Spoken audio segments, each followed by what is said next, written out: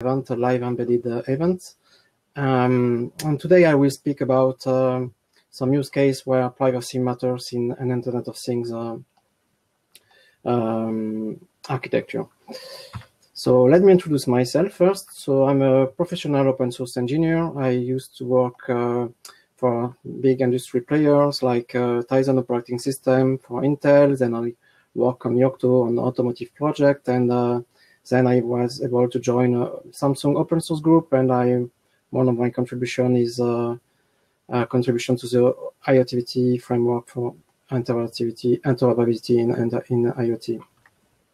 So currently I'm a contributor in open source project. I'm part of Mozilla Web uh, program involved into a IoT project and I'm also contributing to Debian. I used to contribute to Qt and also the NuttX RTOS uh, system. So here is my address. If you want to contact me at this address, purl.org, you will find all of kind of uh, channel to reach me.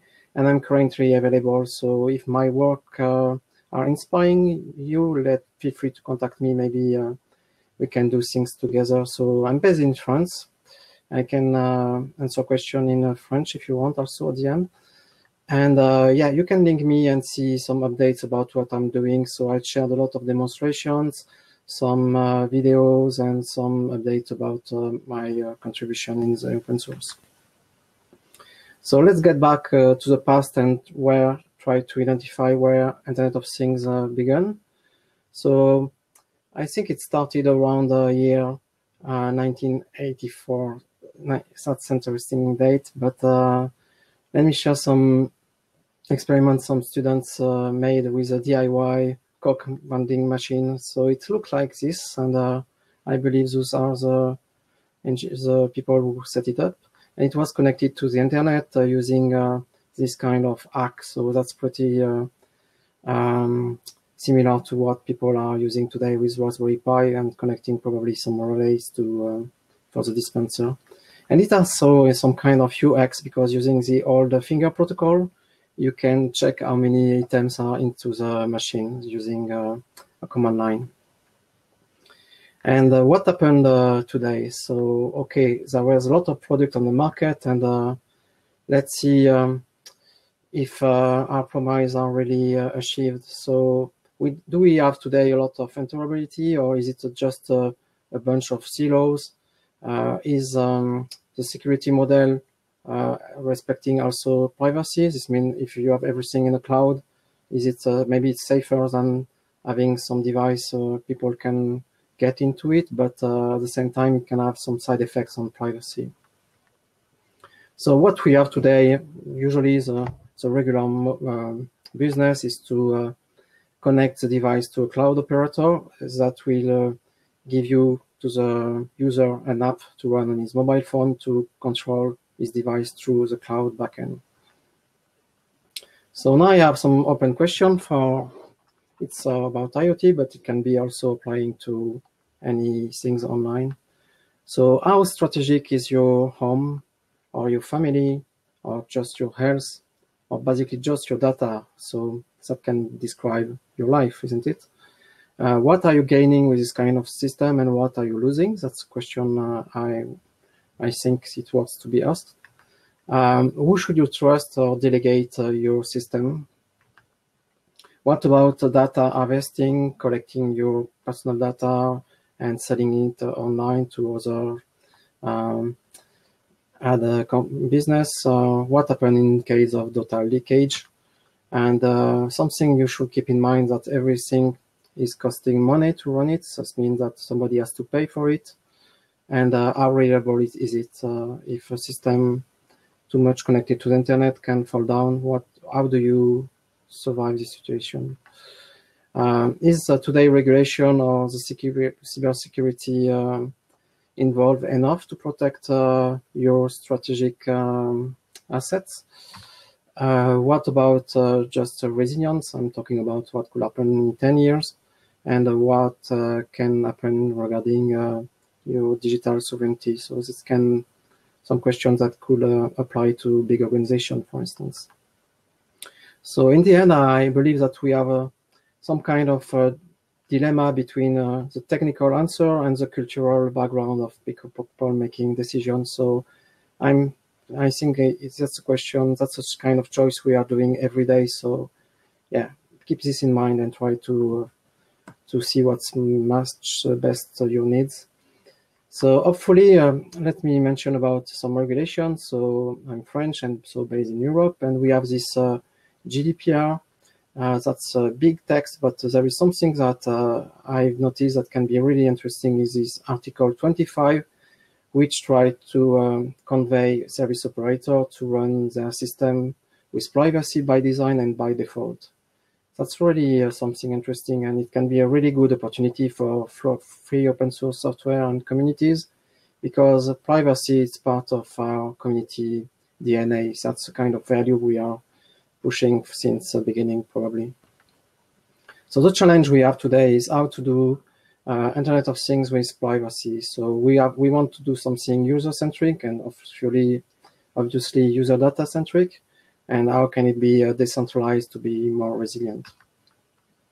So let me now mention some privacy by design principles. That's something that's been proposed uh, many years ago, but it's worth um, to mention them. So the first one is try to be proactive and not reactive. This means try to fix the problem before they occurs. Uh, privacy should be the default. So it should not be an option and it should be part of your design at the beginning.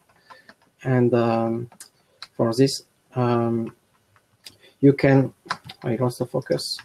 Um, so yeah, in the end, your user should have a seamless experience. If uh, privacy is well handled or bad handled, it, it should be the same. So it's quite difficult for people to know what is going on from the UI.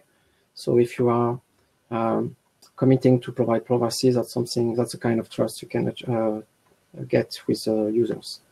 And went to security, of course, because if your privacy is not secured, that's a problem. Visibility and transparency, this means uh, keep it open, this means open implementation if it's software, openness uh, of the the what the, when the trouble are, are, occurring, what are the fallback plans, and so on. So respect uh, users and keep it user-centric. So you can find more detail on this uh, link. Um, it's not a consensual pro proposal, but uh, I said I think it was interesting to get the idea. So now let me mention about uh, some technical so, um, response to this. Uh, I believe the web is a good platform to achieve this kind of uh, uh problem because uh, the web itself has been designed for interoperability, so it's built on standard and open source software. Uh, most of what we have today on the internet is made with free software. It's decentralized, it means you can have many, many servers. And uh, you have something really interesting is that we have some kind of trusted uh, runtime because the application is running inside the browser and it's uh, some kind of container before the container we have in the Linux kernel, we have some kind of isolation. Of course, it's hardware agnostic. This means you can move from one, one device to another. And the UI is rich enough to create a nice application. And you can also provide seamless uh, experience using progressive web apps. This means on your mobile phone, you can add an application as a as a native application, and if you click on it, it will open your browser in full screen. This means you have the same user experience. And of course, it's programmable, so we have all kind of technology like a REST API for um, making web services. We can also have real-time uh, uh, connectivity using WebSockets. So, so people at uh, W3C are trying to propose something called the Web of Things, which is a working group. We try to see how the web technology can be uh, useful in an IoT context. So they are proposing uh, some standard. They are not reinventing the wheel because there are a lot of standard already on the web, like uh, JSON, for instance, for description. Uh, there are some works uh, regarding uh, semantics, some WebSocket I just mentioned before. So everything we already have can be reused, but something are missing like um, some kind of common semantics or unification of description about smart things. So this um, smart device. So this they are working on the proposal and now it's a recommendation since this year. And uh, you can get some all the detail on this address.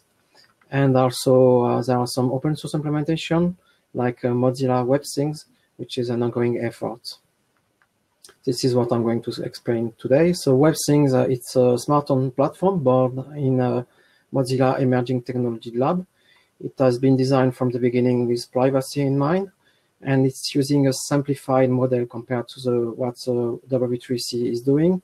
So in the end, uh, there is some hope to converge into something that uh, match uh, the use case uh, for the smart home and what the W3C is trying to promote uh, to in a generic way.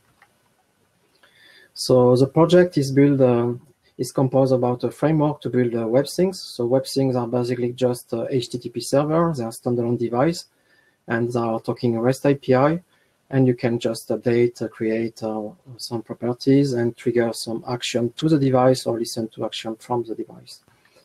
Um, the key point of the, this project is a gateway software. So it's uh, an headless application where uh, we which try to connect all the things together and to provide all the functionality to control all the things together and try to provide a rich UI for the user and try to also do some automation. And if you are going to the GitHub project, you can download the pre-release version, so it's something expected to be released in the coming days. Um, so here is a, just a picture that's explaining uh, what we have on the right. So this is a typical application, the typical uh, smart home uh, approach. So we have all your device home, of course they are connected somewhere on the cloud and your your um, smartphone yeah, is acting as a remote and you can, can control your device uh, using an application, probably many applications because many devices are trying to um, um, isolate uh, your user into its ecosystem. And what we have on the left is a similar uh, approach, but all the data stay home and there is no cloud involved the only option you can get uh, access to using the, the internet is just by creating a, a tunnel which can connect to your device uh, from the outside. So, but if you are staying home, you can connect directly to your gateway software.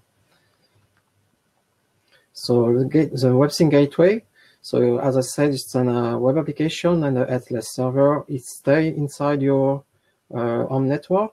It will run inside your home network. So you are um, in charge about uh, uh, deploying it. There is nobody else involved. It's easy to deploy because uh, we are supporting a reference board, which is a Raspberry Pi. You, the project is providing a SD card image, so you can just dump to the to SD card, plug into the Raspberry Pi, turn it on, and it will ask you a couple of questions to set it up. And if you are a Linux hacker, you can also deploy using uh, some packages or just reboot from scratch or use a, a Docker, Docker image. That's something uh, it's also supported by the project. So the WebThings gateway trying to connect uh, all the web things together. So we have a kind of uh, star uh, architecture. So the gateway is at the center of the star and all the devices are each on each branch. And to make it useful for the user, we are providing a user interface where people can just trigger on and off uh, devices and also uh, do some basic automation and logging uh, what is going on inside your home if you want to, to, to analyze it later. But it doesn't stop here because it has been designed to be extensible by design. So it's supporting some kind of add-ons to support a lot of uh, other devices or online services. So privacy is the core of the project. Uh, everything run in your home network. You can discover the device using some uh, MDNS uh, request. The same thing you are probably using on, on Linux using uh, ZeroConf, for instance. Um, device can be shared also to other applications where you can control them from the gateway using REST API or WebSocket if you need a real-time connectivity and if you need to have some um, control about uh, users, we can you can issue some web tokens for each class of device. So this means maybe some application can control some device, but maybe your kids are allowed, for instance, to turn on and off the light, but maybe not play with a washing machine, for instance. Security is handled at the gateway level. Uh, the gateway runs the same network of your devices, and data stay in on the gateway, so it's at the edge, not, not cloud are involved yet. Optionally, you can uh, open a remote access using a, a tunnel. So it's using a, a Let's Encrypt uh, certificate for HTTPS, and PageKite is a software used for opening the tunnel. Um, now let me show about uh, a very basic example how to create uh, a web thing. So there are several uh, uh. So here is a JavaScript one for the Node uh, um, interpreter. So if you clone the source code and you run the simplest thing, which is just a switch, uh, it will run a server. And if you make a, a request on the default endpoint, you have the description about the things. So the things is using uh, a schema to describe what it is composed of. It some. It is a set of capability, and uh, each capability has specific uh, properties. So, like the on-on switch has on properties, which is a boolean, just to turn on and off the switch. So that's uh, the basics uh, to define what is uh, our thing. So if you make a, a curl, an HTTP query on the thing itself, uh, it will return uh, the value of the thing. So the endpoint is property slash on, and it, the result is a value which is on set to true. So if you want to turn off your thing, you can just uh, make a HTTP put request on the same endpoint. Uh, you pass uh, JSON uh, structure which is setting it off, and it will set off accordingly. So this is a very basic, the minimal one. If you want to create uh, like a light bulb, it is composed of a switch, obviously, but probably it has a more, um, more, uh, um, the focus is gone off my screen. Okay. So if you are creating a light, a light uh, bulb, you probably have an on-on switch, but you can also have a user uh, properties like the color. So from the UI of uh, the WebThings dashboard, you can control each properties using a, a different kind of widget. So that's something user-friendly. You don't need any apps. That's something you can run just on your browser. If it's running on your phone or whatever device that can have a screen, you can interact with it. Now let's mention about add-ons. So today we have over 130 add-ons. That's a pretty lot. Uh, most of them are coming from the community, but let me mention about uh, a few just to give you an idea about what can be done. So we have um, virtual web things. So basically, they are just a stub uh, device. We can just use them to uh, simulate uh, the things. So if you don't have uh, any device to get started, that's something really useful. We have a URL adapter, which is discovering all the web things uh, in your home network, like the one I just shared before. So you can create uh, your device yourself using your favorite language. We are supporting um, um, Arduino's, uh, C, C, C++, uh, JavaScript, Rust, and so on. But you can also support uh, other devices, something you can find on the market, because some of them are using standard protocol like ZigBee or Z-Wave, Bluetooth, also ONVIF camera, and so on. So it's easy to map uh, all those devices to, like if there were native web things, you just need to translate the protocol.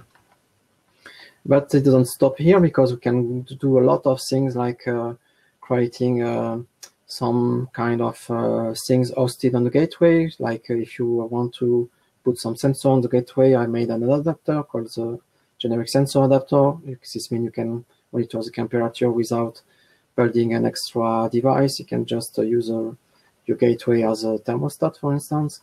Also, you can interact uh, with uh, social web, like I made uh, the ActivityPub adapter, which is posting updates to Mastodon network. You can send updates uh, by email or use community uh, information online, like uh, OpenStreetMap. I think we made a hack with OpenStreetMap also. Let's say if you want to get some update about the opening hours of some kind of shops, that's something do doable and you can uh, do all kind of logic between uh, all the things trying to uh, automate them you can do some condition using a calendar for instance or timer clock And you can also deploy a voice adapter, which is using a Mozilla Deep, Deep Speech. So here's a short demonstration about the ActivityPub. You get an idea about how does it work. So I can do some voiceover. So I'm turning on this uh, uh, matrix LED. I can control the, the color, turning on and off, and so on. And uh, this has been done using the adapter. Here I'm using another adapter like this ActivityPub adapter. So it's installing now. It will be able to uh, post to my Mastodon network. Let's say if I'm away and I want to send a notification to my neighbor to check something, or to uh, if some, my sensor is uh, uh, detecting something that can be valuable for the community, it can be used. So once it's installed, you need to configure it. So here is a Mastodon uh, configuration. So I need to issue a token for uh, connecting to my uh, social um, account. So I need to create an application. This is not specific to WebThings. This is a Mastodon. So I have a token for this application. So if I'm copying this token to my add-on, it will be uh, able to use my account as a client. Uh, let's get back to my dashboard. So here I'm adding a new element like uh, this uh, ActivityPub uh, device. Um, it's not an actuator because it can it can work also as a sensor. So I'm fixing the name. I'm adding a, an image for display, and here it is. So if I'm getting into it, there is only a single property, which is a text.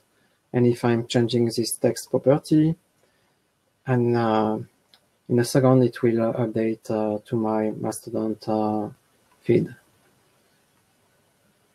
So this has been done uh, manually, but I can also do some kind of automation. So I'm using here another add-on, which is a follower add-on. I have uh, modified it a bit to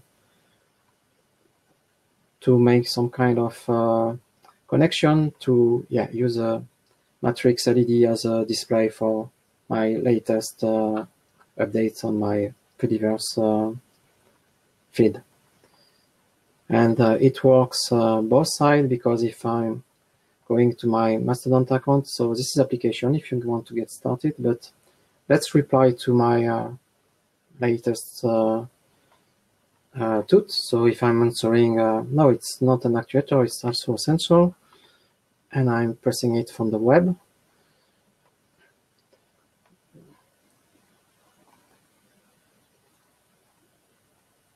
Then if I'm looking at the property, it will update in a second. And it will also be copied to this uh, other web thing, which is a Sense HAT for the Raspberry Pi. Um,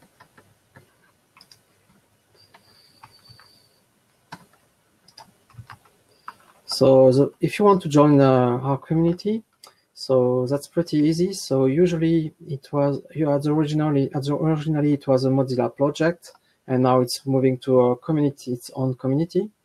So the portal is webthings.io. Um, in a few days, you probably see more content, but you can uh, get uh, access to the source code and all the side project.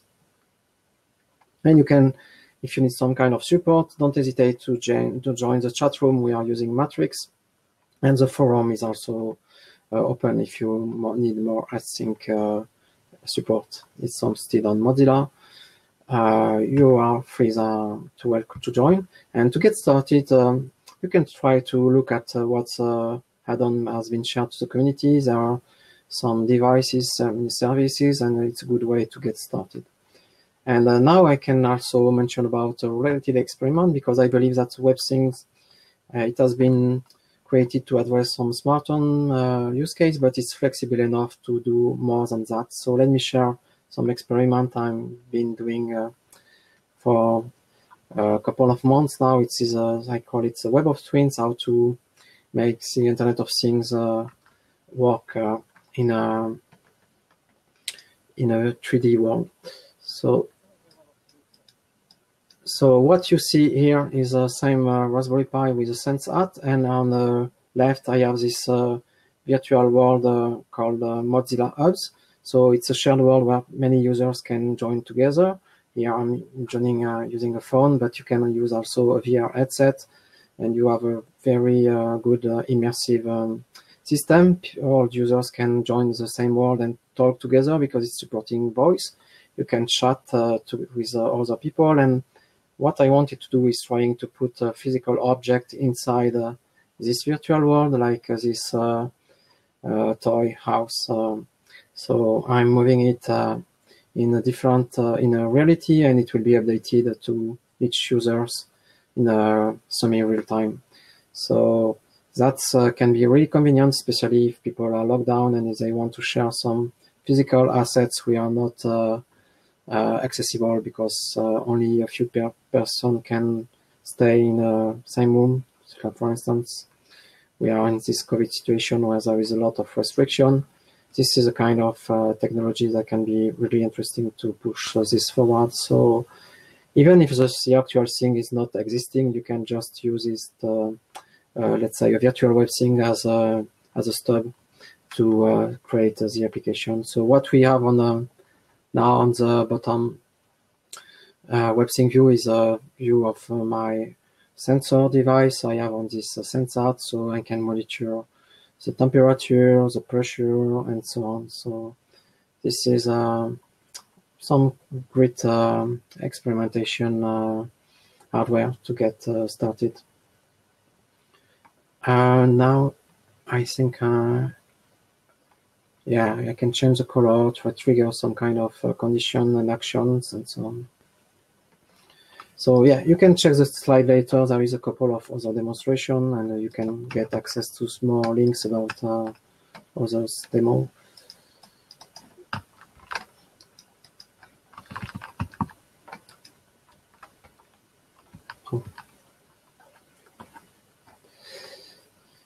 So we are near to the end of this presentation. So let me make a short recap. Uh, privacy rely on the trust of your infrastructure, basically. So if uh, something you are running in your home and inside a place you trust, it can be more um, a, better choice. The web itself is something decentralized and extensible, and uh, so we were able to um, address IoT use case using this uh, WebThings platform. It's something for made uh, smart home, so you can connect all your devices in a safe way. It's easy to interact and automate uh, them and it's extensible to address some more use case like interact with uh, any other services online or even remote things and so on.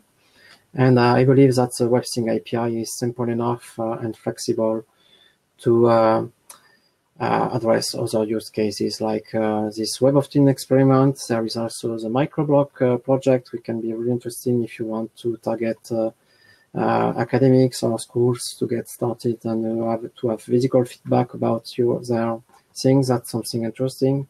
And play mixing um, Internet of Things and VR. That's something uh, really fun to do, and you can use this uh, Mozilla Hub project also as a platform. Um, so now I can share more more details of if there is any question.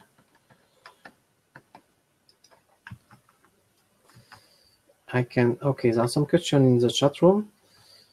Um, what other supported transport later, like the one I am supported? Um,